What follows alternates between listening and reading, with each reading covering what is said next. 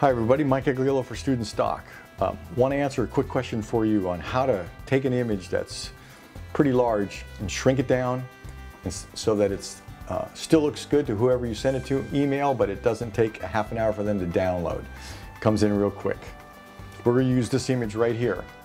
This file is an image that's 50 megs and I'm going to save it on our desktop by doing save as, calling it egg number one, and I'm going to save it as a Photoshop file just like it was.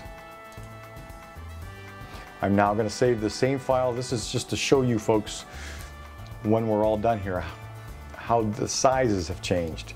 Saving this one as a JPEG. Number two as a JPEG. And since I had done it before, I'm going to replace it. So there we go. Maximum size. And we'll take a look. And there we have the two files right here. And I'm going to show you how you take these files and take a look at what size they are. This egg number one, the original file, Command I, says it's a 18.5 megabyte file when it's saved as a Photoshop file. Now you saw when it was open, it was 50 megs, and that's because that's Photoshop using all those pixels. In, um, when you save it as a Photoshop file on your desktop though, it reduces the file size but doesn't lose any of the data. Here's the one I saved as a JPEG, the 50 meg file, and you can see it has shrunk to 3.6 megs. But I still consider that a little too large.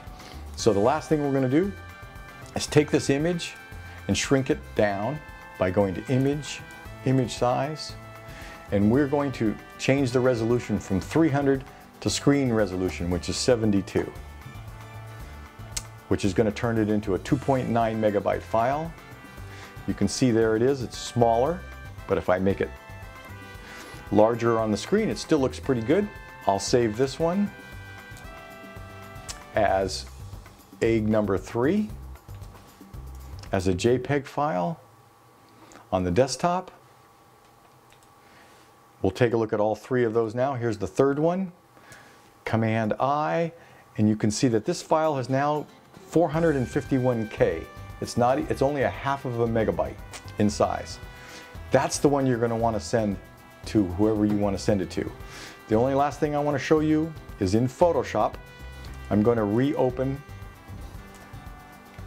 this one, this my original file. I'm going to zoom in really close and you can see that the resolution on this image looks great and it would be fine if you were making a large print. Here's the JPEG one that you would be sending to your friends. Look at the resolution there. You can see the pixelation. Here they are side by side. And you can see how much more pixelated this image is between that and that. That's what JPEGs do. Send that file very quickly to anybody. Won't take very much time for them to open. They'll appreciate it. That's it for right now. Mike Agliolo for Student Stock. Thanks for watching.